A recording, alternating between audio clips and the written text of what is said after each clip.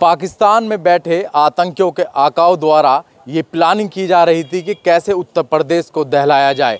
पर ये प्लानिंग जब तक कामयाब होती, उससे पहले ही एटीएस द्वारा सात संदिग्धों को गिरफ़्तार कर लिया गया है। उनसे पूछताछ में तमाम बड़े खुलासे हुए हैं, जिसमें कि गाज़ियाबाद के रियाजुद्दीन, जो कि इसी ब्रांच में उसका अकाउंट है, बीते तीस दिन के अंदर तकरीबन सत्तर लाख रुपए की ट्रांजैक्शन पाकिस्तान से हुई है। पाकिस्तान से लेन देन चल रहा था, जिसकी सूचना जो बैंक प्रबंधक है, उसने एटीएस को द्वारा दी एटीएस को दी गई थी और उसके बाद एटीएस की टीम यहाँ पर पहुँची और उसको हिरासत में लिया। तमाम पूछताछ की जा रही हैं।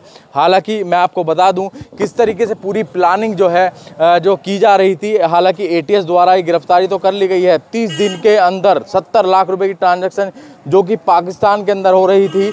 और ऐसे में ए, एक एफआईआर भी एटीएस द्वारा की गई है जिसमें कि एक जो कि पाकिस्तान के एक अन्य व्यक्ति के खिलाफ जो है मुकदमा दर्ज किया गया है और साथ ही जो रियाजुद्दीन है, उसमें उसका भी ज़िक्र किया गया है।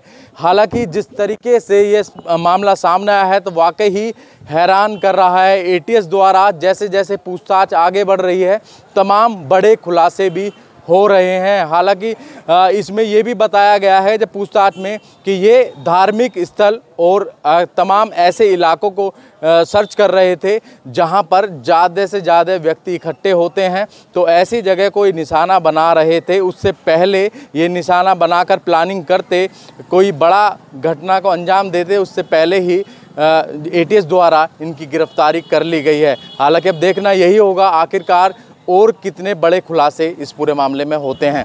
गाजियाबाद से अनिल चौधरी, इंडिया न्यूज़।